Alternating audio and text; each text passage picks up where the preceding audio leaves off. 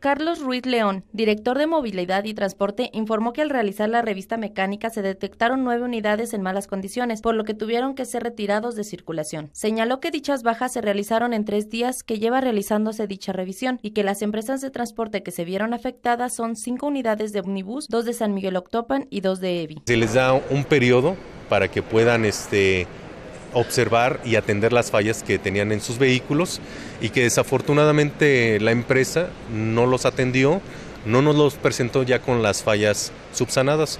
Entonces nosotros obviamente como nuestra obligación es, es de que el ciudadano y el usuario pueda transitar o utilizar el servicio con vehículos que estén en perfecto estado, y al momento de revisarles pues no siguen observando estas fallas.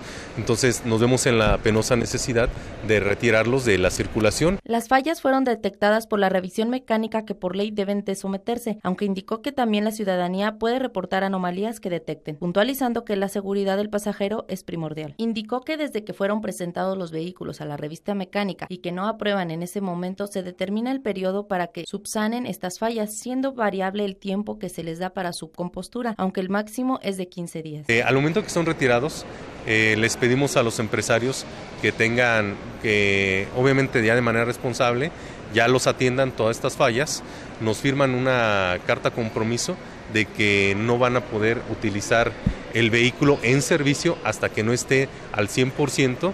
Este, en caso contrario, pues tendremos la facultad de suspender el servicio de ese vehículo. Indicó que aún falta revisar de un 20 a un 25% del transporte, lo que equivale a un aproximado de 180 unidades. Parte de esta acción también se encuentra la revisión de la vida útil de las unidades. Con imágenes de Rosa Duarte, informó para Vía Noticias María de la Perro Darte.